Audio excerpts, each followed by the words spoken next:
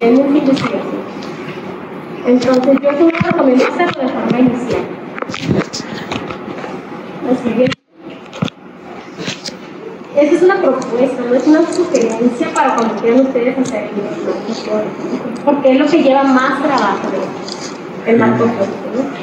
Es, es encontrar, leer, documentarse en revistas científicas, eh, preparar una lista clave en español, en inglés, porque es ustedes cómo lo van a buscar, ¿no? En inglés, fuentes de información recientes, eh, publicaciones gubernamentales, las estadísticas y todo eso, pues toda esa información la van a consultar ahí. Eh, se recomienda, ya es cuestión ya de cada quien, no de forma personal, organizarlo como en fichas de lectura. Para ustedes que vayan leyendo lo que es el, cada artículo, vayan haciendo su ficha, el y esta es una manera de organizarla, le ponen la referencia, a veces pide formato la altura, formato baja, depende aquí generalmente pide formato la altura o dependiendo del revisor. Ponen el, el, el, título del, de la, del artículo que ustedes, ustedes eh, leyeron y ponen la, la, información que ustedes creen pudieran poner en su protocolo. Entonces, este tipo de, de, de va a ayudar a ordenar la información. Y ah, ok, Y al momento de, de estar ordenando, me dice, bueno, esta ficha por el primero, esta creo que después porque pueden leer tanta información que se van a perder prácticamente. No van a saber después cómo ordenar la cosa. Y eso es lo difícil de lo que es el, el, marco teórico, ¿no? Es lo que a veces les falla, mucho. a veces ponen 10 cuartillas de algo que ni siquiera van a estudiar, que ni siquiera es su intención eh, de estudio. La siguiente. Bueno, esto lo que vamos a ver mañana, ¿eh? Para mañana, como les comento, ya tienen que tener diseñado su planteamiento del problema. El planteamiento del problema siempre va a ser una sola cuartilla.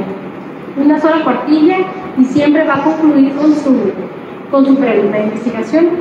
Lo primero que ustedes deben de hacer al momento de querer hacer un protocolo de investigación es redactar su pregunta. Es lo primero que tienen que hacer. De ahí se van a basar para hacerlo de ¿sí? Eh, el planteamiento del problema es identificar una carencia de conocimientos. Yo estoy identificando un problema, por ejemplo, en piso, ¿no? En piso yo, identifiqué que en el servicio de medicina interna hay una gran cantidad de neumonías nosocomiales. Ah, ok, yo estoy identificando el, problema que está, ¿no? Como tal. Y tratar de ver los argumentos eh, dependiendo de las referencias bibliográficas, del sustento, de la investigación que ustedes tienen para poderlo exponer delante del problema. Ahí la verdad que tienen que tener gran eh, fluidez con respecto a la redacción de las, de las palabras, porque lo que ustedes quieren transmitir a lo escrito a veces es diferente a lo que ustedes en verdad quieren, quieren explicar. Eh, en el mantenimiento del problema tienen que estar las variables, el propósito del estudio, debe ser con claridad el problema y concluir, como les comento, con la pregunta de investigación. Entonces, esto es una sola cuartilla. A veces me ponen media cuartilla nada más. Y entonces, tiene que ser toda la cuartilla completa, describiendo con claridad el problema de, de investigación y siempre debe llevar al menos una referencia bibliográfica al menos. ¿sí? Siempre debe llevar. Al contrario de la justificación, la justificación no requiere referencia bibliográfica. Y es así. ¿De acuerdo? La pregunta cómo se hacen las preguntas, ¿eh? Más o menos. Dice, las preguntas han de estar exentas de cualquier presuposición. ¿Por qué las personas de edad avanzada tienen poco interés en la sexualidad? Ahí ya estoy yo suponiendo que las personas de edad avanzada tienen poco interés en eso, ¿no? Pues ese tipo de preguntas no se debe de hacer. Yo me pongo a ver las, el tipo de preguntas que hacen en las sesiones bibliográficas y todas ya están presuponiendo algo. Tienen que cambiar el tipo de, de pregunta que hacen. Por ejemplo, la sesión del día de hoy fue, fue lo de la, la neumonía y la pregunta era de que si los esteroides reducirían, los corticosteroides reducen el qué? La estabilidad clínica de... De los posee. O sea, tú estás impidiendo que los corticosteroides reducen eso. Y haciendo la pregunta de investigación sería, ¿cuál es el efecto de los corticosteroides en la prevención de la neumonía y de la no, no, no vas a predisponer algo, porque eso tú lo vas a estudiar. Eso está mal redactada la pregunta de investigación. Las preguntas deben ser tales que se pueden responder por medio de una investigación.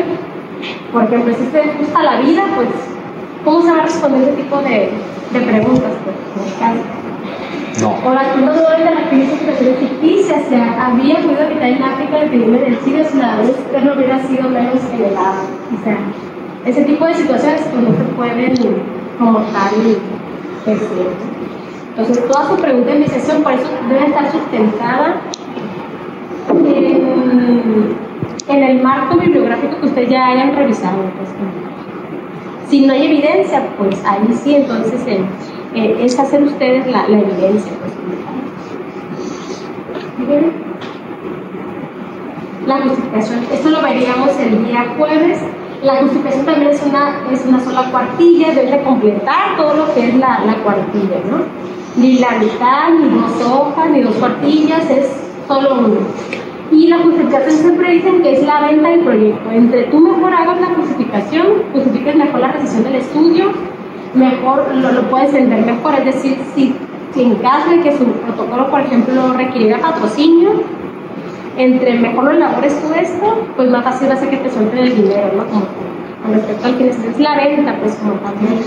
A veces se, se equivocan mucho lo que es el planteamiento y la justificación, ¿no? Como tal. O se les hace como muy parecido, pero no es igual. Pues, la justificación es por qué voy a hacer el estudio y a quién beneficiará. En este caso, a derechamente sí tienen que poner eso, ¿no? ¿A quién beneficiará? A los derechamente sí, ¿no? Desarrollo de su investigación. Bien. Bueno, los objetivos lo veríamos el martes, el martes siguiente. Los objetivos también es una sola cuartilla, ayuda a decidir lo que se pretende obtener, son las metas a alcanzar. Es bien importante. Después de ustedes desarrollar lo que es el, la pregunta de investigación, se tienen que ir a los objetivos. Los objetivos se formulan para señalar qué es lo que se debe investigar, para evitar confusiones, orientar el proceso de desarrollo de la investigación. Es muy importante porque vas evaluando los logros que vas a tener con la investigación, dan sentido a las actividades a realizar y ayuda a seleccionar recursos técnicas por utilizar. ¿Sí? Los objetivos, pues hay objetivos generales y objetivos específicos. ¿Todos los protocolos deben tener objetivos específicos? ¿Sí o no? No. Es una pregunta.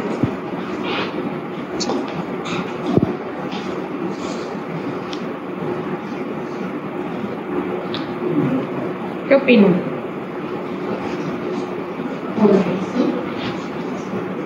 Porque pues vamos a, por ejemplo, yo, es, yo hice del estado nutricional y como objetivo final quise determinar el estado de nutrición, que es lo que yo quiero, pues, pero en específico quiero saber, no sé, en quién más se encuentra la, el, el, la desnutrición, no me gusta O sea, sí, sí sería importante, pues. Es importante, ¿no? Pero no todos, no es obligatorio que todos lleven específico, ¿no? Porque hay estudios retrospectivos que nada más quieren conocer alguna característica o la prevalencia, y nada más con que pongas el objetivo general es suficiente. O sea, no es de que, de que todos los protocolos van a llegar a objetivos específicos. Lo ideal es que sí, pero no es la, la, la regla. El objetivo general transmite una meta exacta que el investigador desea alcanzar, debe ser concreto, inmediato y que se puede evaluar. El objetivo general siempre debe iniciar con un verbo infinitivo, cuyo significado debe ser acorde a los alcances de la investigación. Debe contener las variables y la población de estudio. Yo recomiendo que cuando hagan el objetivo, el objetivo general, prácticamente es copiar y pegar lo que es su pregunta de investigación copiar y pegar su pregunta y no más ponerle un verbo. El verbo que mejor se acomode a lo que ustedes quieren. Por ejemplo, si ustedes quisieran saber, por ejemplo, cuáles son los factores asociados a la neumonía nosocomial, le quito todo lo que es el, eso de cuál es y le pongo el verbo. ¿Qué verbo? Pues, por ejemplo, ¿no? Se me ocurre determinar los factores asociados a la neumonía, nosocomial, y todo eso. Es nada más ponerle, quitarle lo que es la, lo primero y ponerle el verbo, ¿no? Pero igualito, o sea, prácticamente, igualito a como lo tienen redactado en su pregunta de investigación, así. Y no va a haber de otro. Los objetivos específicos eh, derivan del objetivo general y van a incidir en los logros a obtener. Estos nos sirven para ver si, si su protocolo va a ir cumpliendo las, las, los objetivos mediante determinación de etapas, deben ser formulados en términos operativos, incluyendo las variables o indicaciones que se desean medir, como lo que comentaba Rosario que ella desea describir el, el, el, perfil nutricional, ¿verdad? En pacientes pediátricos. Sí, sí, y dentro de los objetivos específicos, pues imagino que vas a poner conocer las características sociodemográficas de los pacientes, ¿sí? ¿Algo así? Pues no puse las sociodemográficas, pero saqué del FNA y puse las, eh, no sé, el estado funcional. Así es. Y cada uno de esos apartados pueden ser objetivos específicos. ¿Bien? Las hipótesis. Las hipótesis dan respuesta a su pregunta de investigación. Esa es la hipótesis general, la que da respuesta a su, a su pregunta de investigación. En este caso, como les digo, de los factores asociados a la numerología podría ser su hipótesis los, así, los factores relacionados a la neumonía nosocomial son y ya. En los pacientes, en el servicio, en el interno. Esa sería su hipótesis de trabajo, ¿no? Dar respuesta a tu pregunta de investigación prácticamente, no hay de otra. Son proporciones tentativas, aceptar las relaciones entre los más variables. A veces es bien importante, ¿no? Realizar una hipótesis por todo objetivo. Hay ciertos revisores que, o sea, uno de los puntos que, que piden es eso, o sea, hacen, hacen hipótesis nada más del objetivo general, pero no, también tienen que ser hipótesis de los objetivos específicos. Por ejemplo, si tú encontraste que es más frecuente en, en hombres la nutrición, poner, eh, el género masculino se asocia con mayor desnutrición en el servicio de los internos, y ese sería parte de los objetivos específicos. Ah, la hipótesis es a futuro, aunque todavía no hayamos hecho el... Sí, para eso tú hiciste una, una revisión de la literatura y tú ya más o menos sabes en qué, a qué te va, cómo te van a salir tus resultados, pues. Y tú ya más o menos, que te salga después diferente es otra cosa, que no va a estar acorde a lo que tú ya revisaste, pero es a lo que tú vas a apostar en tu protocolo. ¿Sí quedó claro? Más o menos. Ah, pues aparte de ser hipótesis general, tiene que ser hipótesis de los objetivos específicos. Eh, deben ser comprensibles, precisos, concretos, deben ser claros, lógicos, observables, medibles y. Los tipos de hipótesis. Es hipótesis de trabajo que, este es HI o H1, ¿eh? Así lo pueden poner en el protocolo. La hipótesis nula es H0 y la hipótesis alterna pues sería una HA, ¿no? La hipótesis de trabajo es la hipótesis inicial que se plantea el investigador y das una respuesta anticipada, ¿no? Es lo que te comento. De que tú al revisar tu, por ejemplo, si quieres evaluar eficacia, no sé, de la dexametasona con la metilprednisolona, ¿Tú qué has revisado? No, no, pues yo he revisado que es mejor la dexametasona, ¿ok? Ahí eso lo pones en tu, en tu hipótesis, estás apostando a eso. El hipótesis nula, pues es lo contrario, ¿no? Prácticamente.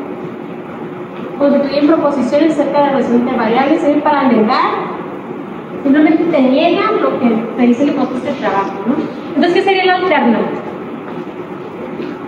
Si es la hipótesis de trabajo lo que yo quiero, lo que yo estoy apostando en la investigación, y esto es al revés, ¿Cuál será la interna? Pues si, soy, si quiero verlo de la si la dexametasona, no sé, es mejor que la 20, tengo que la dexametasona no es superior a la 20. Y hay hipótesis nula. En la nula, pero ¿y la alterna? Ah, pues que, que ninguna de las dos. Sí, que ninguna. Las dos son iguales. Así. Entonces, alcaldes de HA son proporciones tentativas acerca de las condiciones relacionadas entre los modelos. Aquí está el ejemplo, ¿no? Hipótesis de trabajo.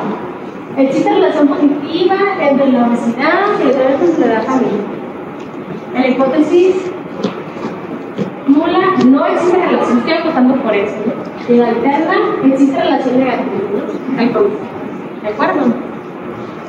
A veces no les pide hipótesis alterna porque redacten lo que es la hipótesis de trabajo, la hipótesis nula y las hipótesis de los objetivos específicos. Es bien importante, eso sí. Hay que hacer una hipótesis nula de cada objetivo específico. Eh, yo cuando les los asesoro, yo no las y le ponemos hipótesis de trabajo de los objetivos específicos. Y ya. Pero sí hacemos hipótesis de trabajo de la general y de la y nula del, del general. No hipótesis nula, no hipótesis nula de los, de los específicos.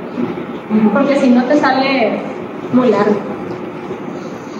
Material y métodos, aquí sí se puede explayar lo que quieran, más si se trata de ensayos clínicos, así son las cuartillas que ustedes requieren, ahí no es de que una cuartilla o no, entre mejor describan su protocolo es mejor.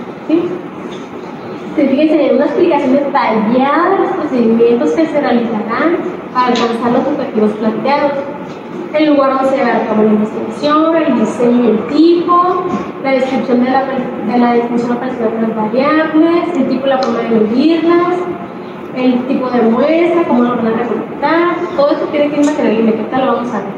¿sí?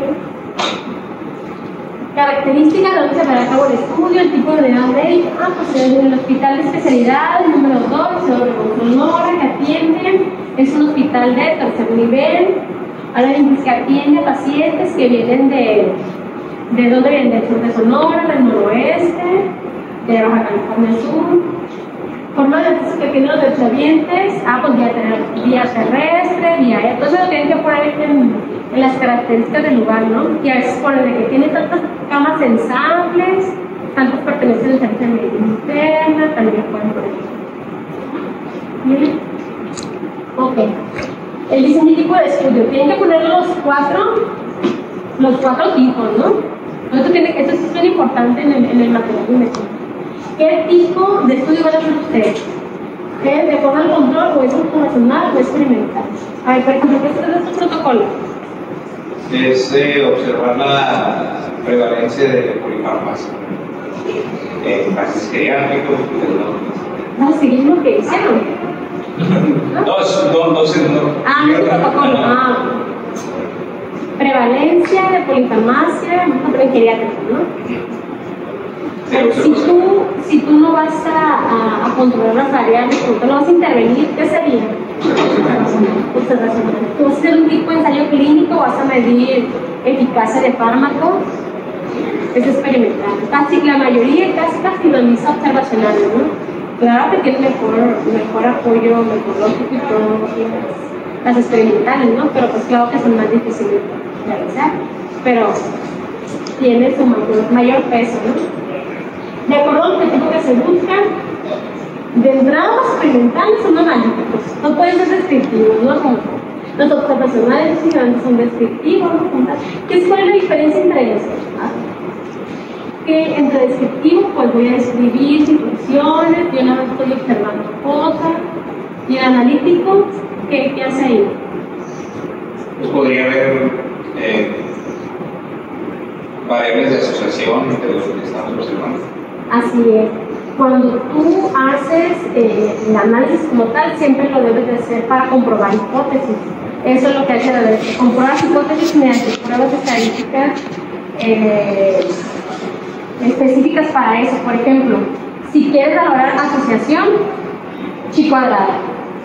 Si quieres valorar correlación, hay las pruebas de correlación y, y eso Entonces, dependiente. Analítico es cuando vas a comprobar hipótesis. Si tu estudio descriptivo nada más transversal, pues no, no va a ser analítico nunca, ¿no? Porque no, no vas a tener cómo hacerle el análisis diferencial. Va a ser puro descriptivo. En el momento que se tendrán los datos retrospectivo y prospectivo. Retrospectivo, ¿qué significa? Que yo estoy aquí y voy a ver los pacientes de aquí hacia atrás, ¿no? Todo lo que ya está. ¿no? Y prospectivo, pues que yo estoy aquí y que apenas voy a empezar a hacer mi, mi estudio. Y el número de veces es transversal, longitudinal, transversal, pues es una sola medición longitudinal con más de dos mediciones. ¿Hay alguna duda con respecto a esto? Sí, de que bien claro. No tienen que número de veces que se unían las variables, si en mi estudio estoy eh, evaluando información pues, de, de los expedientes que ya estaban, pero aparte lo estoy citando y voy a hacer nuevas mediciones de algunas variables. Sería longitudinal. ¿Sí? ¿Qué más? Doc, si es nada más descriptivo el estudio, eh, entonces sería, pero son varias variables, sigue siendo transversal. O sea, si es algo que fue de, del- de ahorita, de una fecha al pasado. Ah, factores, eh, factores predictores de desarrollo de COVID grave en pacientes hospitalizados. Los factores predictores de conducta. Va a ser una sola medición, ¿no? Pero pues ves si tiene, son diabéticos, epocosos, los estudios de laboratorio. Entonces yo creo que cada una de esas sería una variable. Sí, cada una de ellas, pero. Pero la vas a hacer una vez. Ajá, pero solo una vez la vas a medir. Vamos a ver el expediente y ya, ya lo. Ah, ok, agarrar todos los expedientes. Sí, sí, claro. Sí, solamente una vez sería. Sí, solo una vez. Este, Entonces es transversal. Sí, sí. Tiene que poner el universo o población de estudios, si van a expedi- pacientes, si van a agarrar expedientes, agarran simplemente datos del laboratorio, el tipo de muestra, el tipo de individuos que se van a estudiar. ¿Sí? Ah, ok. Aquí les puse las fórmulas más frecuentes que utilizan, ¿no?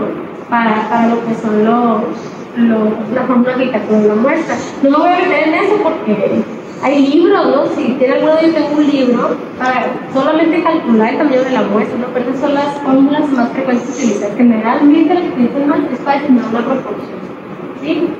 Es la que generalmente utilizan. No sé si alguien quiere comparar dos grupos, ahí sería para dos proporciones o para dos medias, es otra fórmula, son las principales, ¿no? Que les utilizan cuando es solo una sola un, un solo grupo, como que no van a comparar nada, se utiliza esa. Y, estas son constantes, ¿no? Tal. No me voy a meter en eso, ¿no? Porque Por to- todos, los, todos los protocolos tienen que un cálculo de la máscara. a menos de que quieres agarrar a todos los individuos. Por ejemplo, si yo quiero hacer un protocolo de los residentes, de los R2, y voy a agarrar a todos, nada más pongo, se incluirán a todos los residentes de segundo año y medicina. Por eso no se realiza cálculo de la muestra, porque vas a integrar a todos. Pero si son muchos, por ejemplo, si quieres usar pacientes diabéticos, pues de modo que a, todos los diabéticos ahí se calcula todo. Por ejemplo, si el protocolo quiere saber algo sobre pacientes diabéticos mayores de 70 años en medicina interna en 2020.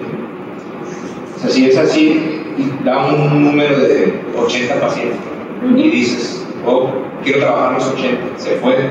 se puede usted justificar lo mismo. Cuando tome lo que le ah, pues en, el año, porque todo eso tendrás que, por ejemplo, epidemiología, pues a preguntar cuántos pacientes diabéticos vemos en un año, cuántos pacientes hospitalizados en un año vemos, pues llega y definir pues, la. Esto, por ejemplo, cuando se toma a todos los pacientes son cuando son enfermedades más, por ejemplo, esclerosis múltiple, ¿no? Pues que tengo 20 pacientes, ah, o sea, todos integran. No hace falta De COVID, pues es un montón, o sea, tienes que calcular la muestra, pues sí. ¿Y no hay como una aplicación para eso? No, no hay una aplicación. Por lo que yo sepa. Material y métodos, eh, es lo mismo muestra que muestreo, No. ¿no? Porque no es forma como que vas a sacar. Es el proceso, ¿verdad?, de llevar a cabo la, el muestreo. Y la muestra, pues el- es el- es lo que quiero yo estudiar, ¿no? ¿Sí? Está bien. Tipos de muestreo. Hay dos tipos, es el no probabilístico y el probabilístico, ¿no? ¿Por qué utilizamos nosotros el no probabilístico siempre? No, no empiezo que en todos los protocolos está. No probabilístico porque es consecutivo. ¿Por qué?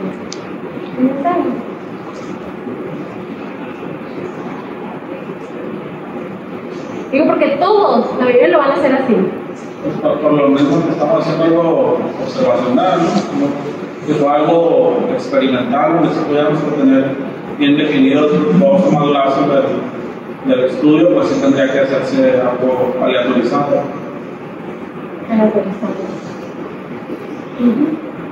Nosotros no lo estamos haciendo a las artes a eso. Lo primero, no estamos agarrando cualquier tipo, no estamos agarrando a toda la población y estudiar un fenómeno en toda la población, no. No estamos haciendo las artes. Estamos escogiendo pacientes a los que vamos a estudiar.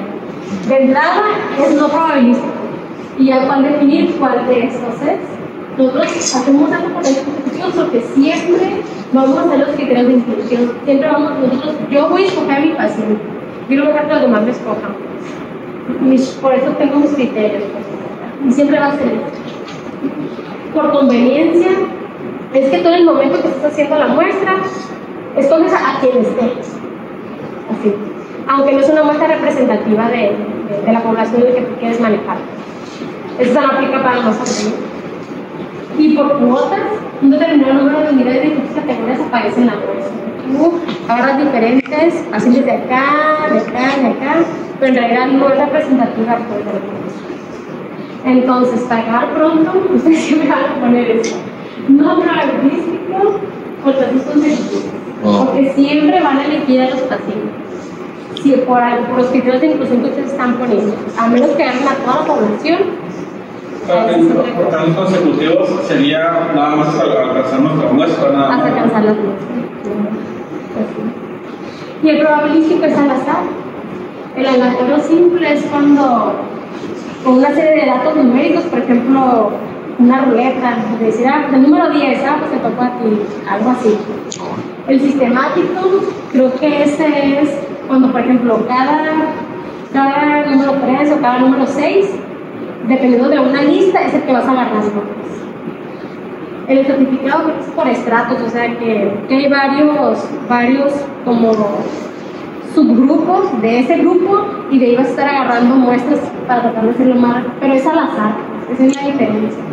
Por conglomerados, prácticamente y pues es por etapas, es lo que dicen aquí. Que eso se utilizan más en estudios epidemiológicos, para estudiar un fenómeno, por eso son, son al azar.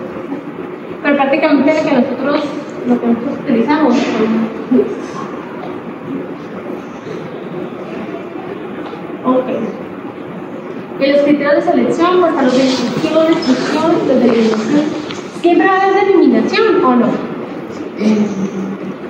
¿Siempre tienen que escribir sus protocolos de eliminación o no? Pues yo he visto que en muchos el criterio de eliminación es que no se completa el expediente, por ejemplo. Porque ya no Pero Y ese expediente no sería más bien de Ajá, exclusión. indistintamente podría ser de exclusión De también. eliminación yo tengo como que les vayan echando la encuesta, la medición y de repente de allá que no. Así es. Son los que entran los criterios de exclusión, pero por una u otra cosa, bueno, pues ya no pudieron de Ya, Por ejemplo, que se murieron. Yo los incluí en mi estudio, pero en el transcurso del, del protocolo se me murió. Pues ni modo, lo elimino. O En el, sea, tras- en el transcurso de la encuesta. en el transcurso del protocolo, el paciente lo incluiste, no sé, si tu protocolo era, no sé, a dos meses, ¿no? 60 días. Lo incluiste bien, al mes estaba bien, pero se murió al mes y medio.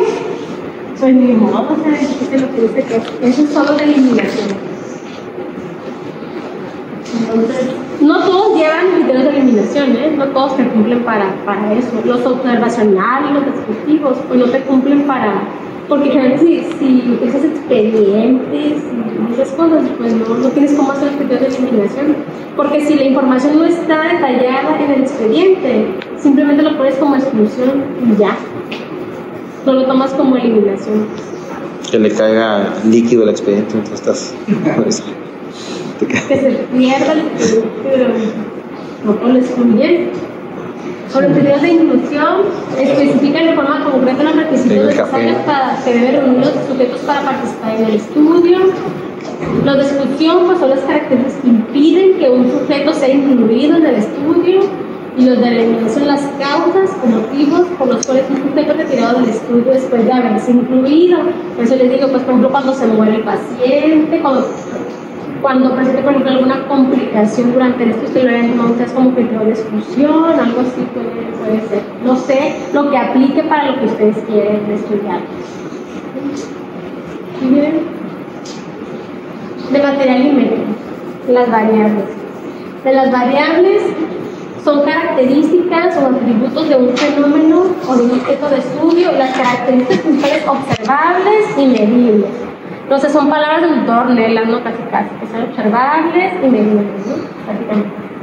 A veces también tienen, tienen dudas con respecto a la variable dependiente o la variable independiente, ¿sí?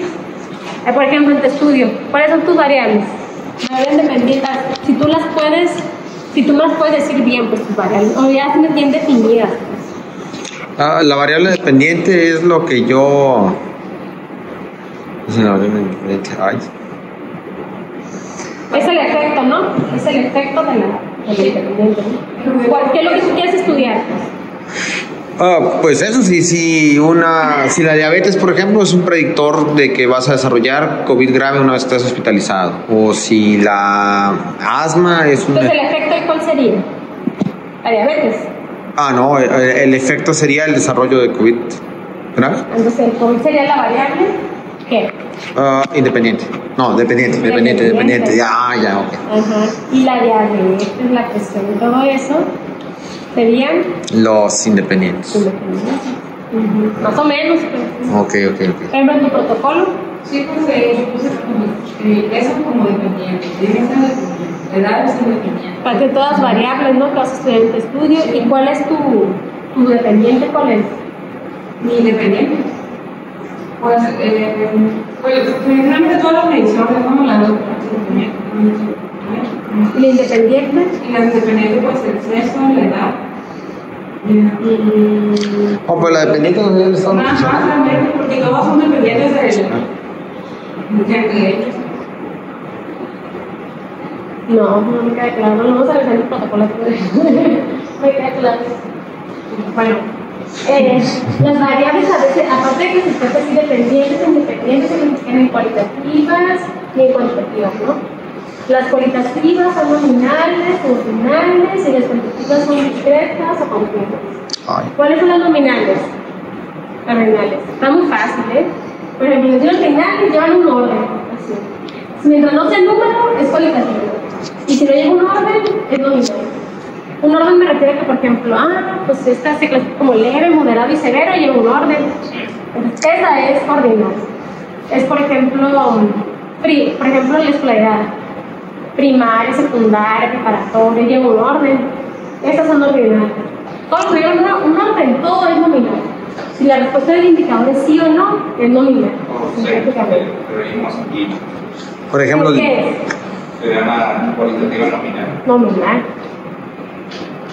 Por ejemplo, un, un valor en laboratorio, un dímero D, eso ¿Un número sería. de qué sería? Es Cuantitativo. número, es cuantitativo. Oh. De ahí es cuantitativo.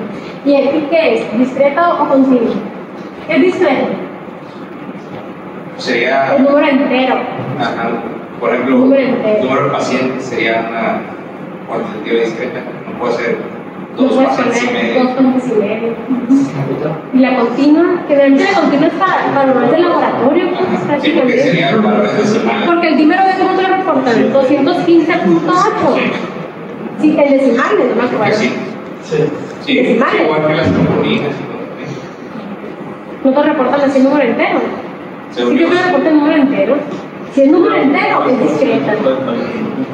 Si lo reportas con decimal, es continua. Sí, así es. La rectificar también bien todo eso, entonces Esta características. por ejemplo, la glucosa sería una discreta. Sí, porque es, no, te lo reportan en 96.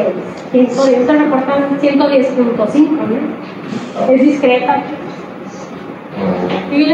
Ah, y las, por ejemplo, y y los linfocitos, por ejemplo. Los linfocitos, el, el número absoluto pues son 1500, Sí, sería, sería 1250. discreta. Es discreta. Células, Ah, sí, Los discreto. absolutos te lo reportan como. Punto y algo. Pero es, es el número absoluto de porcentaje, pues el pues también es discreta, porque, pues, bueno, si es 25.4, por ejemplo. Pero es porque- es porque está en. Pero es depende de cómo tú lo, de cómo tú lo marques en la, en la tableta de variables, pues, no. Checa siguiente. En el indicador, pues, si tú en el indicador le pones porcentaje, a la izquierda tiene, pues, pues podría ser continuo, ¿no? Porque Sí. puede ser 25.4. Ajá. Si tú lo pones discreta, tiene que ser en números absolutos, pues como tal. Ah, ok. ¿Sí me explico? Sí. El cuadro de variables al menos debe tener estas, estas, estas columnas, ¿no? A veces agrega lo que es lo de la variable independiente, independiente. La verdad que no es, no es eh, eh, indispensable, ¿no? Como aunque tengan es lo más importante.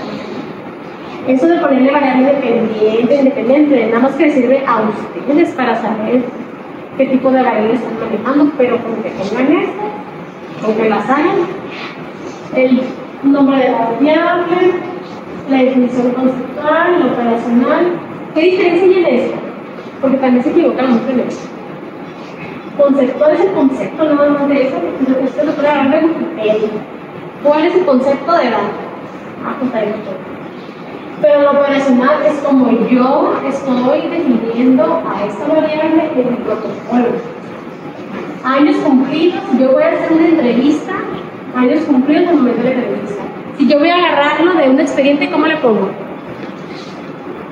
Ah, años mencionados por el paciente en la entrevista. No, Ah, en la historia clínica, en la entre- historia clínica. Se puede, ponerle años cumplidos, eh, registrado en el expediente clínico. Ah, Ya con eso. Simplemente. Es como ustedes van a estar agarrando el, la edad en su protocolo, cómo lo van a operacionalizar. La escala de emisión, pues es la edad, pues es cuantitativa, es discreta, a menos que sea un niño, porque un niño, ¿cómo lo ponen en Semanas, meses. meses? No sé, 17.4, no sé, ¿cómo lo ponen? 20.2, algo así, pues, al año que más no. Relativa discreta y el indicador en años cumplidos, ¿no? Es que siempre lo ponen, por eso le puse lo más frecuente, ¿no? Ok. En edad siempre ven todos los protocolos, es, muy raro que no lo, que no lo pongan. Creo que sí. A dejar, porque todavía nos falta. Lo que sí, vete a la última diapositiva, quiero que lo, que lo voy a intentar con la última. Y quiero que le un poco, porque necesito que de ahí se basen para todos esos, todos los consentimientos. Es esto. Esta es una dirección del doctor Ornella, que ustedes con la dirección y les va a dar todos los formatos de protocolos. Todos los formatos me refiero a la, la de consentimiento informado, a la de la carta de la inconveniencia por el director, todo eso son formatos que, que ya están establecidos para esta unidad, pues. Entonces, de ahí lo pueden ir agarrando esto sí. los, los, los protocolos que no ocupan consentimiento informado, pues siempre es la carta de, del inconveniente para el registro de expedientes clínicos. Y el que ocupa el consentimiento, ahí está. Hay una versión corta y una versión larga. Me gusta más la, me gusta más la larga, pero que no me gusta más la corta. Viene como más bonito, pero ya cuando lo chequen ustedes, ¿no? dependiendo del protocolo que quieran ustedes. ¿no? Ahí lo vamos a quedar. Entonces ya no vamos a ver el planteamiento, lo vamos a ver hasta el Ah, bueno. hasta El el jueves. Dale. Bien. Nos quedamos en la descripción, ¿verdad? Quedamos. Este, ya, ya. Nos general. Descripción Tenemos ya 27 de cuánto? Pues ya yo grabé la última parte, tú grabas la primera. Está completa.